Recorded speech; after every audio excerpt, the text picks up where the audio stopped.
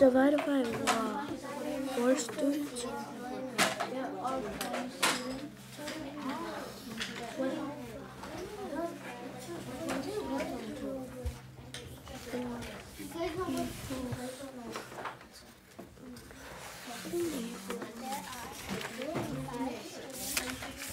What? Okay. You wrote 14 divided by 4 equals 20 is 5. Okay, Jason, let me help you a little bit. You had 20. Yeah, I know.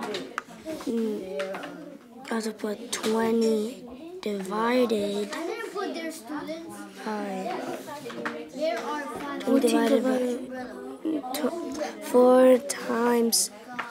See, there's four groups, so you put 5 in each. So, then, so that equals. What's 4 times 5? 4 times 5. 20. Yep.